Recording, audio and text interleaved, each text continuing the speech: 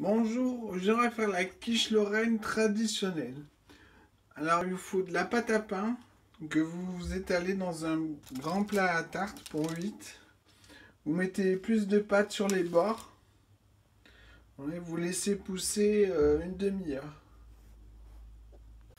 Et aussi vous mettez euh, le plat sur la plaque de cuisson noire à l'envers. Ensuite, euh, vous faites griller des 400 g de lardons fumés. Une fois qu'ils ont rendu leur eau, euh, vous les égouttez dans une casserole, puis vous remettez à cuire euh, pour pas que ça soit trop salé. Une fois bien grillé, on va enlever le gras dans un chinois casserole. Gardez le, gras de la cuisson pour euh, prochaine cuisson ou pour euh, mettre sur des pâtes ou euh, bah, aromatiser une sauce, je sais pas moi.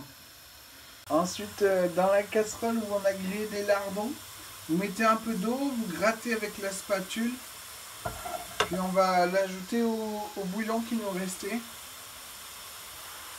Avec le bouillon, euh, vous en gardez un petit peu dans un bol. Puis on va le faire euh, chauffer dans un faitout.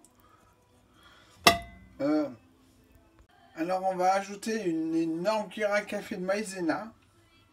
On va la fouetter. Ensuite vous l'ajoutez au, jus qu'il y a dans le faitout. On va mettre le feu maintenant et on va fouetter jusqu'à ce que ça boue. Quand ça boue, vous éteignez le feu. Puis vous le mettez dans le bol. En essayant de laisser le gras dans la casserole. J'ai juste enlevé le gras. On va mettre de l'eau et un petit petit à petit et fouetter jusqu'à ce que ça ressemble à une sauce. Voilà, elle est euh, pas trop épaisse et elle a encore bon goût. C'est bien corsé le goût. Euh, si jamais vous mettez trop d'eau, que ça a plus beaucoup de goût, vous refaites cuire.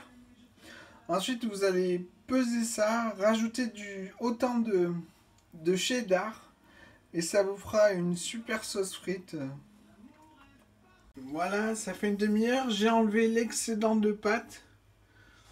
Ensuite, on va peser 250 g de crème fraîche épaisse. On va ajouter un œuf et deux jaunes.